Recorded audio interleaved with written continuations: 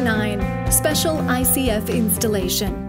This chapter of the manual explains some advanced installation technique and special flooring systems used with Amvic ICFs. The most common special installations are included. However, if you have a site specific situation that is not mentioned here, please contact us for assistance.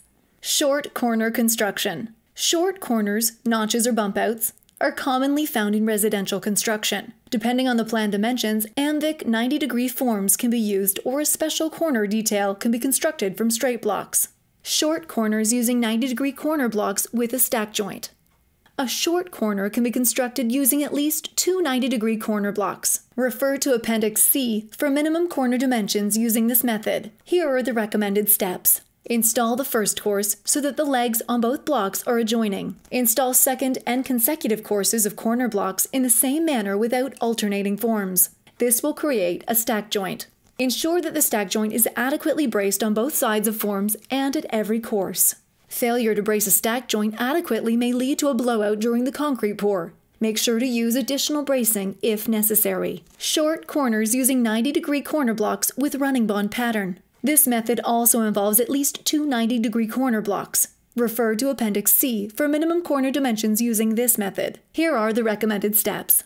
Install the first course so that the long leg of one corner block and the short leg from the other block are adjoining. Install the second and consecutive courses by alternating the forms to create a running bond pattern. Short corners made of straight Amvic ICF. Corners shorter than the minimum allowed by our 90 degree blocks can be achieved by using straight Amvic ICFs. Steps in creating a custom short corner. To begin, you will need a minimum of two straight Amvic forms. Cut off 4, 6, 8, or 10 inches, depending on which block you are using from one foam panel on each straight block at the edge of the form. Set the forms in place and glue the cutoff pieces to fill the ends of the forms to create a 90 degree corner. Construct two 90 degree wood forms made of 2x10 and place them on each of the formed EPS corners. Drill a half inch hole through the wood forms and the EPS panels starting about 12 inches from footing or slab on grade. Insert a 3 8 inch threaded rod through the holes in the wood forms. Use plate washers and nuts on both sides to hold the rod securely. Continue to cut and stack the blocks to the desired wall height. Place the threaded bolts approximately 16 inches on center vertically. When the concrete has been poured and has set for a few hours, remove the wooden forms and cut the threaded rod so that it is flush with the concrete surface. Use foam adhesive to fill the holes in the EPS panels. Radius wall construction. Amvic manufacturing facilities provide pre-cut radius forms which ensure that courses fit together easily and installation goes smoothly with minimal labor costs.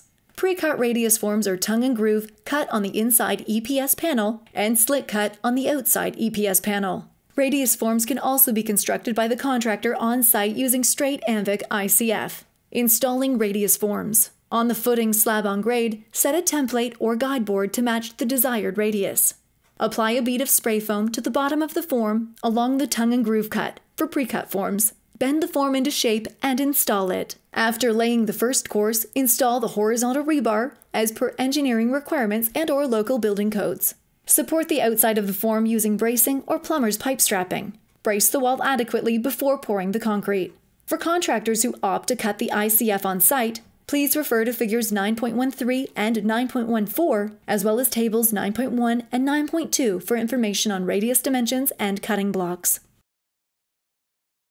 T-wall construction. T-walls require special attention before the concrete pour. Proper bracing and alignment are essential. Constructing T-walls.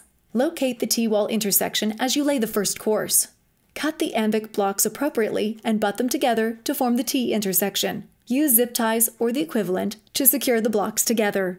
Install horizontal reinforcing steel bars, including bent 90 degree corner bars, with proper lap splice length as per engineering requirements and or local building code. Continue stacking subsequent courses of block until the full wall height is achieved. Check walls for level. If the walls are level, run a bead of spray foam down along each side of the forms on the T-wall. For below grade and main floor level walls, Additional bracing must be installed on the exterior side of the intersection. Failure to brace properly may cause a blowout during the concrete pour. For above grade levels, where there is no ground surface to anchor the exterior bracing, insert wire ties, or the equivalent, through the forms around each side of the intersecting T-walls. Do not tighten the zip ties yet. Once the wall is formed to the desired height, slide a 2x6 down the back side of the wall that runs straight through in between the forms and the tie wire. Tighten the wire tie to hold the lumber in place. Make sure the wire ties are installed at every course. Always use caution when pouring concrete into T-wall sections. Brick ledge applications. A brick ledge is usually required to support the gravity loads of exterior masonry applications, such as brick, natural stone veneer, or any other exterior which cannot be supported by screwing into the Amvic block webs.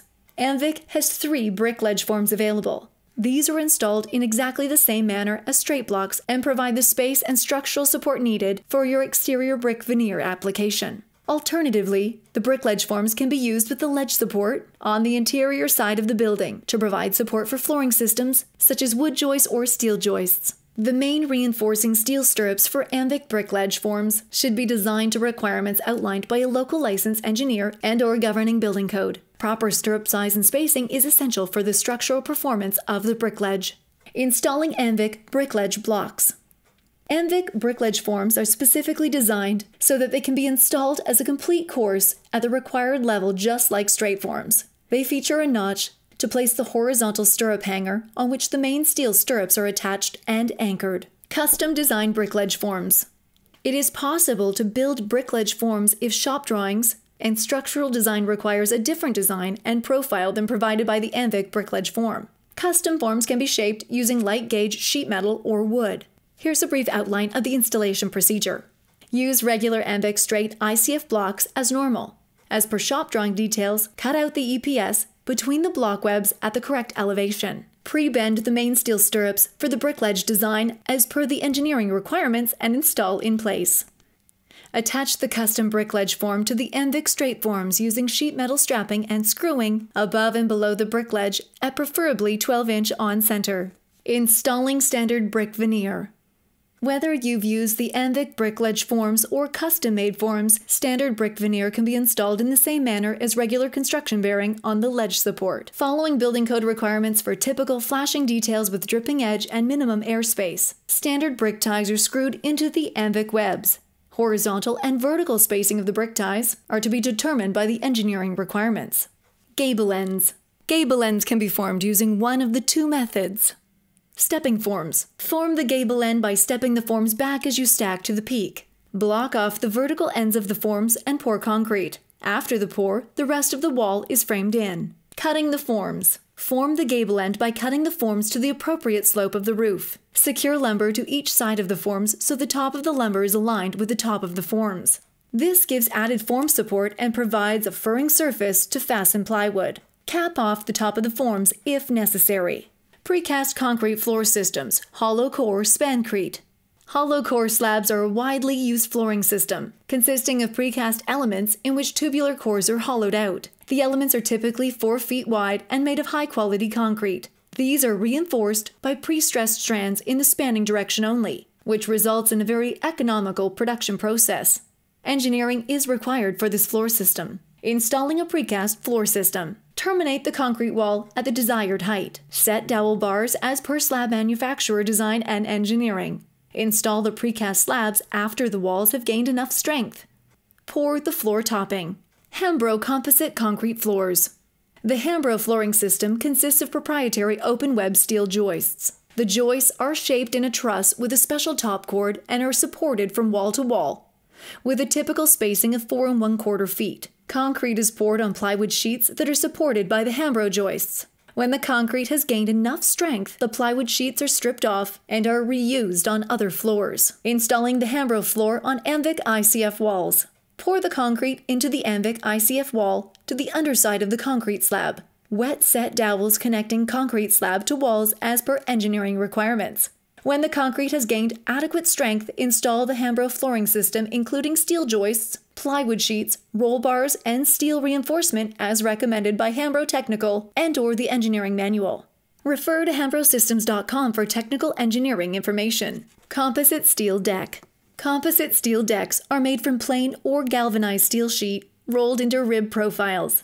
The ribs are typically 3 inches deep and 6 inches wide and spaced at 12 inches on center. The steel deck can be used strictly as a formwork for concrete, or it can be fabricated to bond with concrete and act together to form a composite section. For composite deck, no additional reinforcement is typically used. When non composite deck is used, reinforcing steel bars are placed in the slab. Generally, 2 to 3 inches of concrete is placed over the ribbed deck to form a total slab thickness of 5 to 6 inches. Installing composite steel deck with Amvic ICF. Pour concrete into the Amvic ICF walls to the underside of the concrete slab. Wet set dowels to connecting concrete slab to walls as per engineering requirements. When the concrete has gained adequate strength, install the steel decking and reinforcing steel as per the manufacturer's technical engineering manual or as specified by a local licensed engineer. Pour concrete for the composite steel deck. The M-Deck floor and roof system. The M-Deck floor and roof system consists of modular, expanded polystyrene forms. When installed, the EPS forms provide a stay-in-place formwork to construct one-way concrete pan joist floors or roofs. The system utilizes 10 inch deep light gauge steel framing studs to carry temporary construction loads until concrete has been poured and gained adequate strength. The light gauge steel joists also act as furring strips to attach ceiling interior finish, such as sheetrock.